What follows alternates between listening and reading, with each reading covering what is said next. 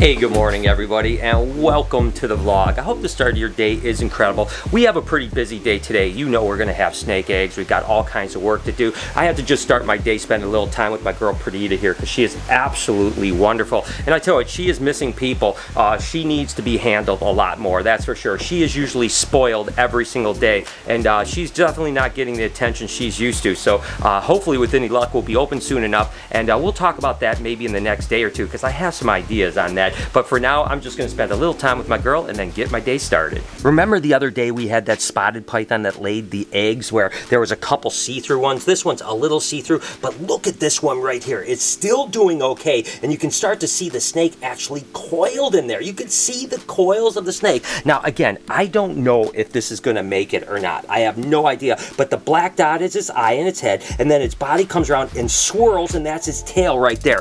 I have never seen this in all the years that I've been doing snake breeding. So I hope this egg makes it because it's absolutely going to be incredible to see it develop. But again, I don't have high hopes because again, you know, obviously something wasn't right why it didn't calcify. Now this egg here, you can't see the coil, but this one looks like it's going to go full term because it's mainly calcified, but you can still see through it a little bit. So I have a feeling we're going to at least get a glimpse into it. But to watch the development of a snake in an egg like this would be absolutely incredible if it stays. So I'll keep you guys updated. So far, it's been incredible.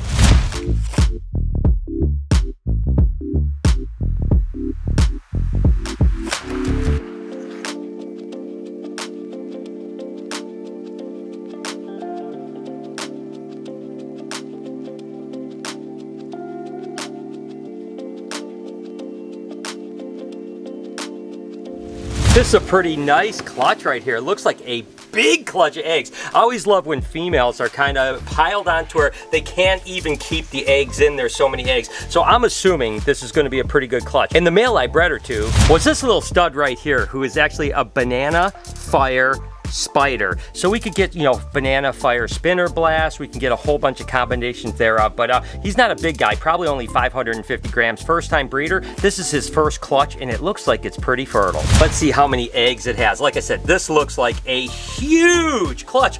Holy moly! Can you believe that? What in the world? I tell you what, that looks more like a Burmese python clutch than a ball python clutch. I mean, my gosh, that is a huge clutch of eggs. Mama, you did so good. I mean, look at her. She definitely looks deflated. We'll get her cleaned up. We'll get her kind of washed up and stuff like that. Get her ready. Hopefully she'll take a rat this week because I tell you what, that looks beat up. Some females put so much energy into production. That's why they have this many eggs. Other females don't have that many eggs and they don't even look like they've laid after they laid, but wow, this girl, uh, yeah, it looks like she laid a lot, and she did. Two, four, six, eight, 10, 11 eggs. All right, 12 eggs was the record for this year so far. I think last year we had one clutch of 13 eggs, but 11 eggs, that is ridiculous.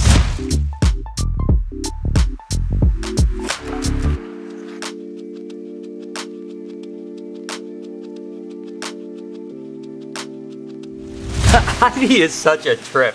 You know, of course, I'm filling up the water right here, and you can see the water pressure going, and we've seen her go underneath her waterfall, like with her head, like she seems to enjoy it, and she's just sitting there, I swear to gosh, that's like a snake massage. Not like the sense like our snake massage, but the fact that the water is massaging her. Again, I've never seen a snake do the things that Ivy does. Uh, she, she's just nuts. Time for my daily checkup when it comes to Nova and Lilith to see if there's any eggs. I see both of them high up Nova is kind of hanging out over here protecting. Lilith definitely looks like she's still got some marbles. I don't see any excavating in the nest box. So another day with no frilly eggs. I'm telling you guys, any day we're going to have eggs. I cannot wait. But uh, still on egg watch with the frillies. I've really been working on this with Speedy. Speedy, go this way. Hey, Speedy, that way. That way. Come on. Go this way. Speedy, go this way. Speedy, go this way. Go. Go this way. Come on. Turn around. Let's go. Let's go, turn. Speedy, go that way. Go that way. Speedy, go that way. Come on. Let's go. This way. Speedy, go around. Go this way. Come on. This way. Let's go. All the way around. Let's go. Let's go. Walk that way. All right, get going. Keep going. Keep going. Get going. Thank you, Speedy. Keep going.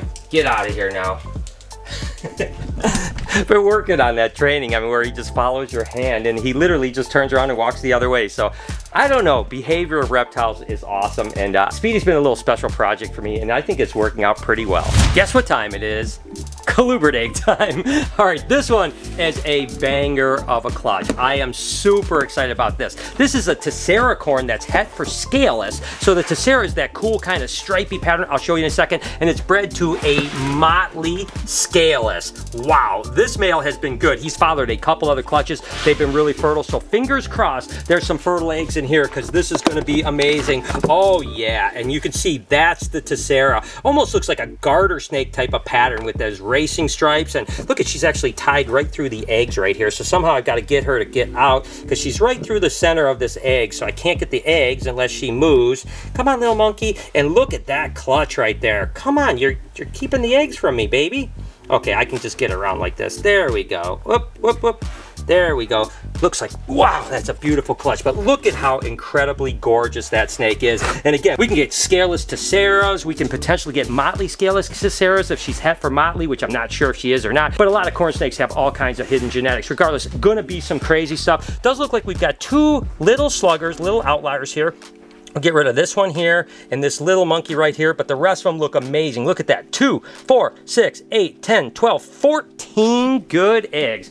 Wow, that was amazing. I was waiting for that clutch. I'm super excited. Next up is one of those Abbott's Okeetees. Again, just a really good classic corn snake that is an Okeetee with beautiful patterns. And again, a nice clutch. Beautiful snake. Ouch, come on, mom, I'm sorry. She's just being protective. You're okay, mama. We'll get you all cleaned up. We'll get you some water and she'll be happy by tomorrow. And look at another really beautiful clutch. Wow, it's a good day for eggs. There's no doubt about that. Let's go ahead just pop these over here. We've got two, four, six, eight, nine. Again, this is just Abbott's Okeetee to Abbott's Okeetee, so there'll be nothing but Abbott's Okeetees, no mutations or anything like that. So those are gonna be some beautiful babies. Gloves, where we're going, we don't need gloves. One really thing I wanted to actually hit up with you guys is why I don't wear gloves. Um, 100% I get it. Uh, it's, it's a safety reason why a lot of people use them and you don't want to get scratched up. However, for me, it's an actual feeling that I get in my hands when I'm touching animals. So let's go ahead and show you. It's really almost sort of this self-awareness that I have with this animal. Where you see my hands are placed here, it's on the chest and on the base of his tail. And these are areas where on their body it's going to flex, it's going to constrict, and especially when he's upset, uh, any snake, any lizard, any kind, you'll feel it right right there, especially where my thumb is right here. I can feel it right now where his shoulder's tensing up.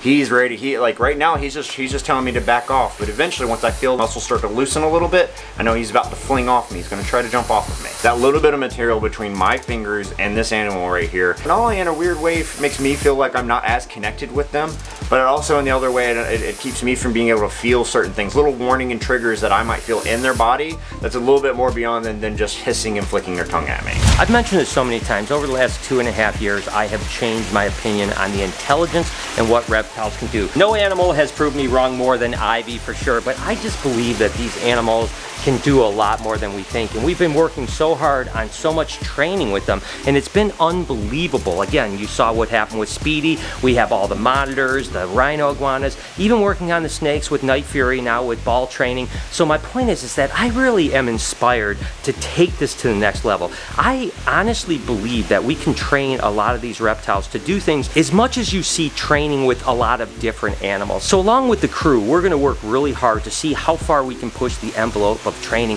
If you guys have any ideas down in the comments, let us know. What can we do with Elvis? We know that he's ball trained and we can get him to do almost anything. What else can we get him to do? What can we get Diddy and Dixie? What can we actually start to work with with snakes and see if we can train them? I just believe that we're just starting to touch the surface because to be honest with you, eight or 10 years ago, it was unheard of to even do target training for the most part. Now it's become a relatively common thing in most zoos. So what will eight or 10 years from now be? And I hope that maybe we can be some of the people that set the trend. So we're gonna work really hard at some new initiatives with training these guys, all of our reptiles. Uh, I'd like to hear what you think about that and I'd like to hear if you have any ideas down in the comments. Of course, I've got to work with my girl Salt a lot during this period of time because remember, you know, when we were open, you know, probably a hundred people a week would actually handle Salt, and uh, now it's just kind of me and the crew, you know. So she's obviously not being handled as much, and it's so important to keep her mellow. It's okay, girl. It's all right. Calm down.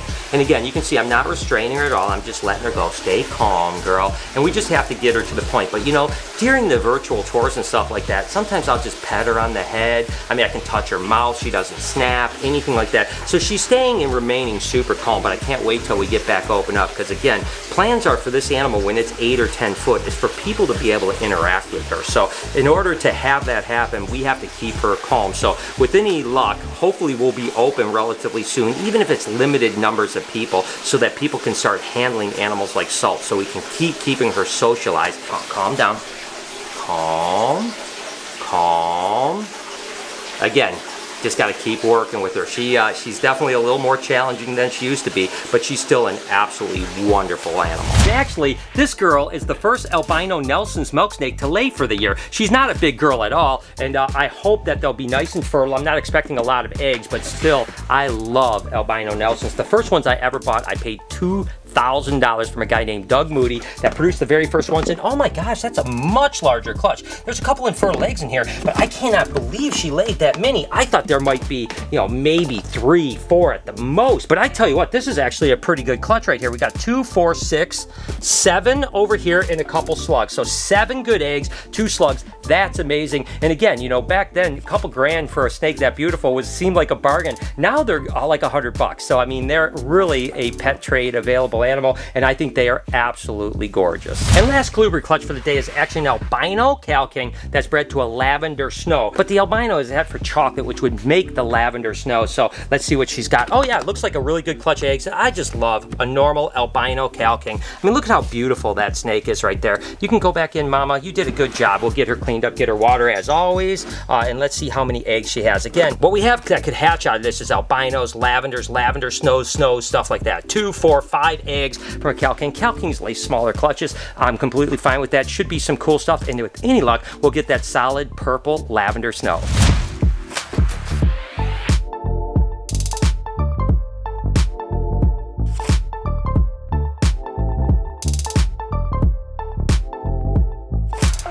Got a baby Cresty today, and I'm gonna show you guys how we set them up as babies at least. It's about the same as an adult, it's just on a smaller scale. So we're gonna use paper towel as our substrate right there in the bottom. I've got a little hide here. It's just a little styrofoam hide just so they can go under it and a little piece of foliage just another thing they can hide or climb on. Then we make sure we mist it down and we mist once a day, but you're if you have a baby at your house, you're gonna wanna kind of pay attention to when the cage dries out and mist it whenever it dries out. Last things we're gonna add is one cup for water and a little cup for food. And these guys are so tiny, they barely, barely eat. I like to use um, just like a little water bottle cap or pop cap or something. That way you can kind of tell if they're actually eating or not. Another way you can tell that they're eating is if you'll see like little poops and stuff in there. They're so tiny um, when they're babies, like they barely eat. So we'll put that right in there, fill up the water, and this, it's ready. And we can let the little baby go. There you go. And there we go. That's how you set up a baby crested gecko or even an adult. You just got to do it at a larger scale. If you like this video, can you do me a favor and hit this playlist over here? It's me playing with giant snakes. I know you guys always like that, right? Up here, you can actually support my podcast channel called Checking In. That would mean the world to me. On this side, you can subscribe to this vlog channel and turn the post notifications on. Have an absolutely wonderful day. Remember, be kind to someone, and I promise I'll see you tomorrow.